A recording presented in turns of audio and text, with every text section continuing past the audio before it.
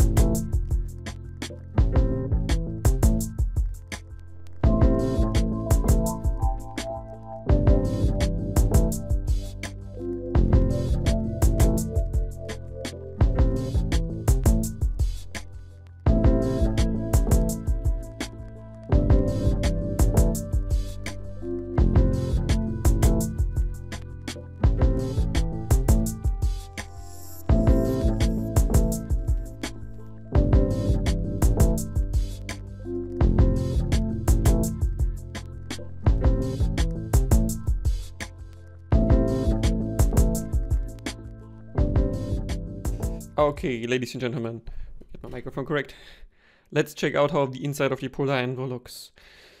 Okay, I think this here in the front is the single dynamic that produces bass. This here looks like it's a bone conduction driver, judging from how weird it looks. And actually the cabling seems like it's done relatively well. We have some glue visible here. And yeah, that's pretty much it. I think there's the BA at the or BAs at the front. Um, yeah, let's continue digging in further here. Okay, and of course we have the faceplate here, which is now uh, definitely more scratched than before.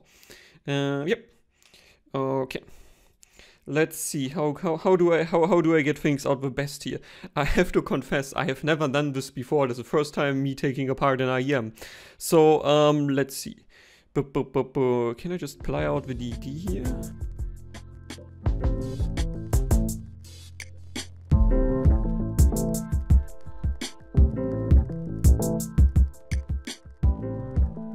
That means also the shell is less robust than the drivers actually glued in here.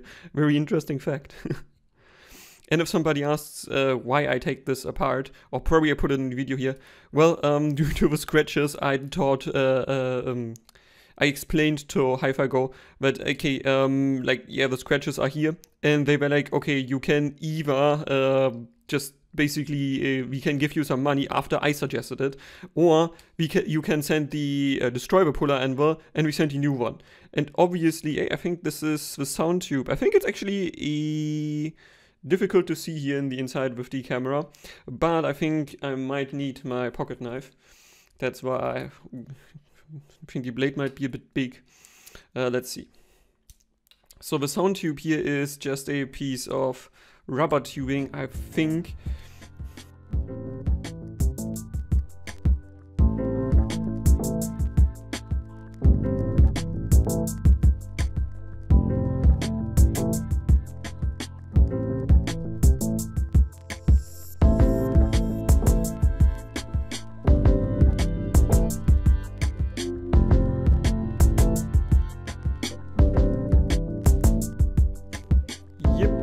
you can see here the rubber tube on the inside that keeps this thing together. Then this is tight in here. I didn't expect it to be this difficult. I thought I could just, you know, whiz in and yeah, just basically don't do much and take it apart, but okay.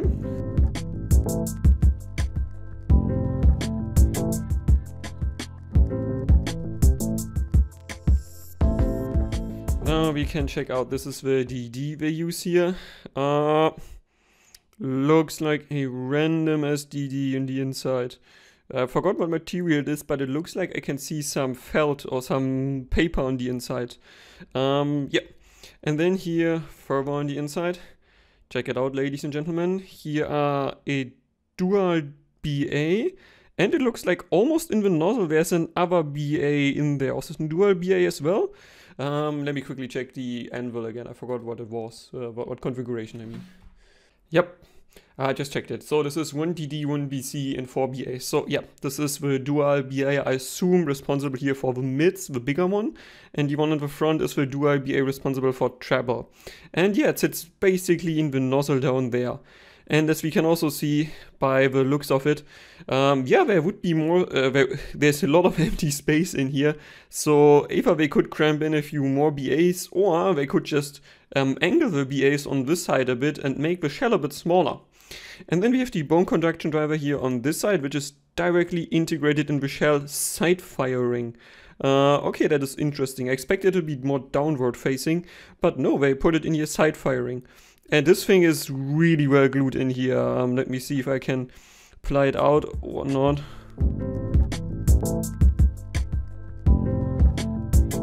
I can. Huh, nice. Okay, so this is the come sharpen on the front plate. Here you can see this is uh, basically the metal plate that is responsible for, I think, for absorbing or for transmitting the sound to the actual IEM chassis. And yeah, it's sideward facing. Um, but it seems to manage to vibrate at least this part of the shell well enough so that you can hear something. And then here on the inside we can actually see the uh, driver in here.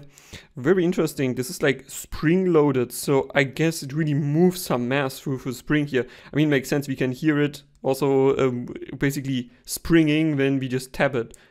Yeah, and you can still feel it. I don't think you can hear it, right? But I can feed it as definitely spring loaded here. Very interesting. And you can actually see that it's, if I press it, like it has a really good amount of motion here uh, that is possible. And when we take a look at the BAs inside, maybe you can also plan BI out. Let me, let me see if I can plan BI out. That is also possible.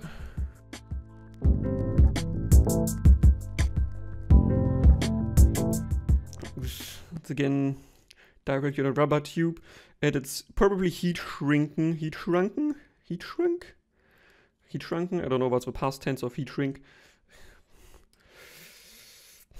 okay, so it's very difficult to get out here. Let me see. Oops, that was a piece of shell. Ah, and here we have an additional and small piece of silicon. I guess it looks like it has resistances in there. You can see even the order number here on uh, the, the part number on it. So I would probably be able to find out that this actually is... Looks like just resistance, but I, am not entirely sure. But yeah, let's see if I... It's still attempt for like a bit more, and if I can't get it out, then I just leave the video here. And we call it a day in figuring out what is inside the Pula anvil.